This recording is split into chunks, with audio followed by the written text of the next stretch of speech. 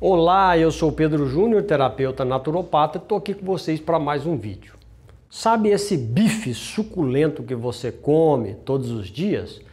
Ou até mesmo essas plantas, essas castanhas que você come e acha muito gostoso, muito bacana? Pois é, nada disso seria possível se não fosse as nossas amigas bactérias. É, é isso mesmo as bactérias que existem no solo são responsáveis pela sua comida. São responsáveis, pela, responsáveis desculpa, pelas proteínas que você ingere. Ou seja, a nossa existência está ligado às bactérias que vivem no solo. Essas bactérias, elas têm o poder de retirar o nitrogênio do ar tá? Você sabe que no ar que a gente respira, a gente tem nitrogênio, a gente tem oxigênio e a gente tem gás carbono. É, são os três mais abundantes. Mas o nitrogênio é incorporado nas plantas através das bactérias.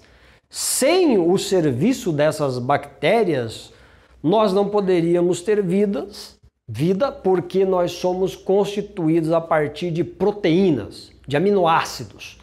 E esses aminoácidos, eles têm um, o nitrogênio na sua composição molecular. Toda proteína, ela tem um grupo amina, que é o, a amina do aminoácido, e lá tem nitrogênio.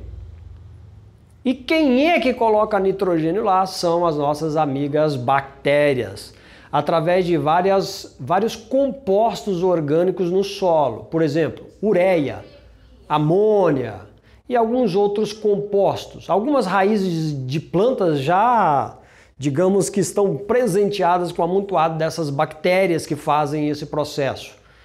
Então esse nitrogênio é incorporado nas plantas, as plantas vão fabricar os aminoácidos, vão fabricar as proteínas.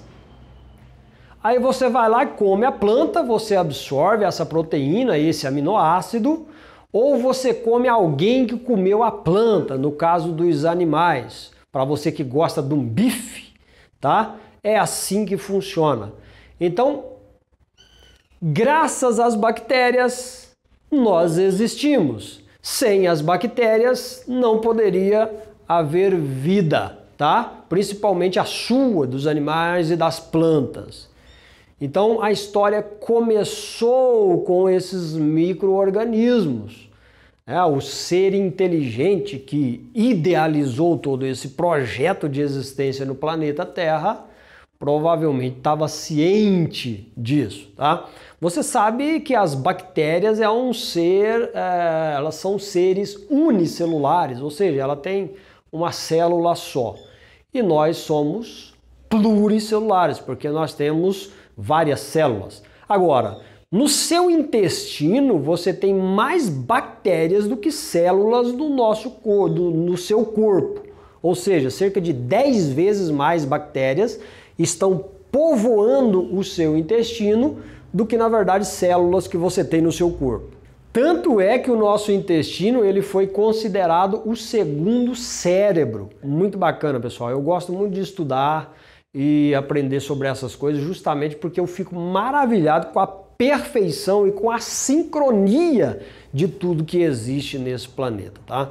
Então, se você gostou do vídeo, se foi útil para você, se te trouxe conhecimento, por favor, se inscreva no canal, dê um joinha aí, compartilhe esse vídeo e vamos produzir conhecimento. Sem falar que nos vídeos do canal a gente fala muito sobre saúde e como melhorar a sua saúde, tá?